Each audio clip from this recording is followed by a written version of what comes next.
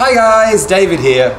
In today's video I'm going to show you how you can make another kind of a joint for making stick furniture. In the last video I showed you how to make a male and female joint, a mortise and tenon, for making stick furniture. Now a variation on this joint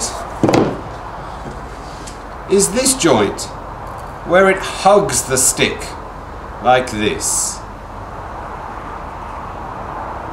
Okay, so let's get into it.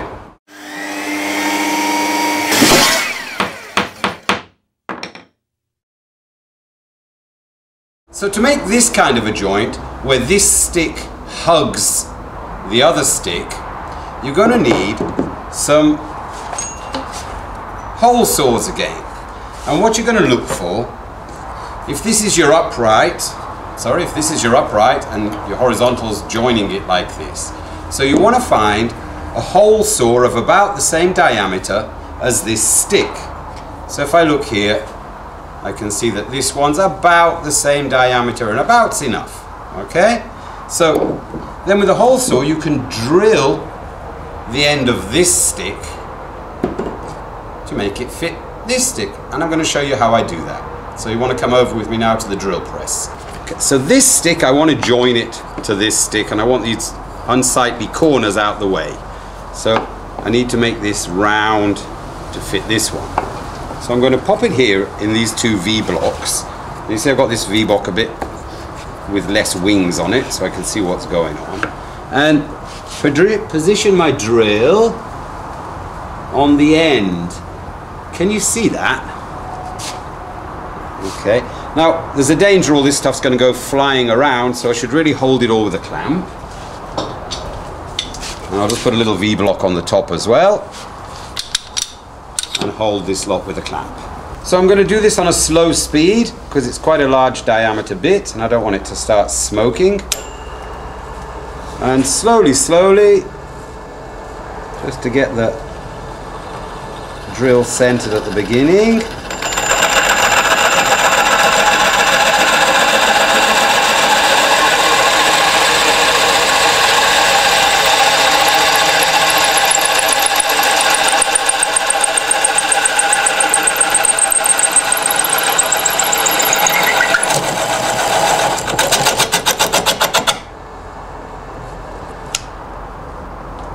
Okay, so here's what we just drilled, and this is the stick that we're going to mate it to, and as you see, it's a very nice fit. You can have a look around here, and it's hugging on quite nicely. Now, I'm not too fond of these little wings. I think I'll just sand those off, and that one's quite small, there it's gone. So I'll just sand that little wing off.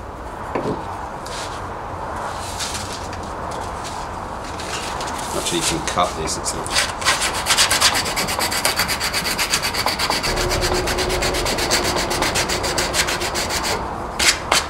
You might be asking yourselves, how is this a joint? It's all floppy and not connecting together.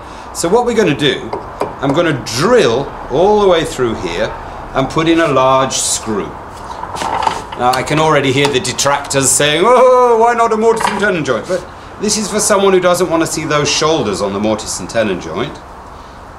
So I'm going to drill this now. This drill also cuts a hole for the plug because I'm going to put a wooden plug over the head of the screw afterwards.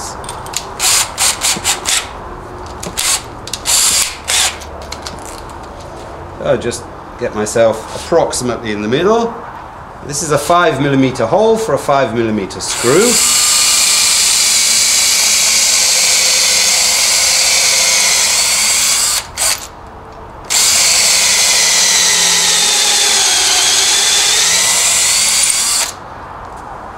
So you can see, I hope you can see, there's a place here for the plug that's going to hide the head of the screw afterwards and a 5mm pilot hole went all the way through the stick. Now I just need to drill a 4mm hole here so I don't split the stick open with the screw.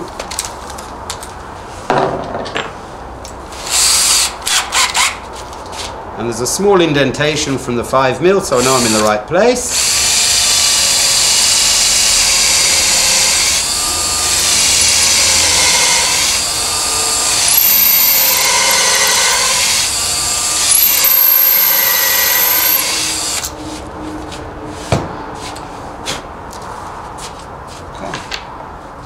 Here's my 5 mil screw. This one's 80 millimeters long and I'm just going to put a bit of wax on it. So if I need to open it afterwards I'm not going to snap the screw inside. Pop that through there.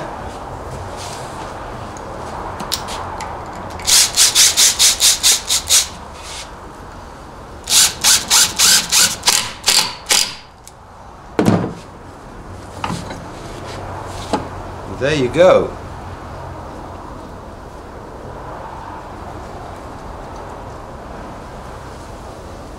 So that's a nice, strong and very clean joint for a stick joint and you don't have any of the shoulders that people don't always like with the mortise and tenon joint. This isn't so attractive. So for this, I have a plug cutter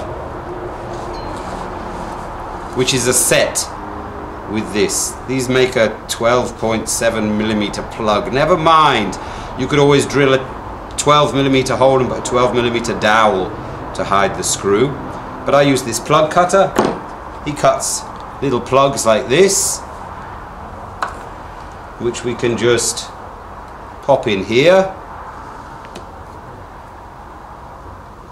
Put some glue and knock it in, sand it off, and we have a beautiful joint.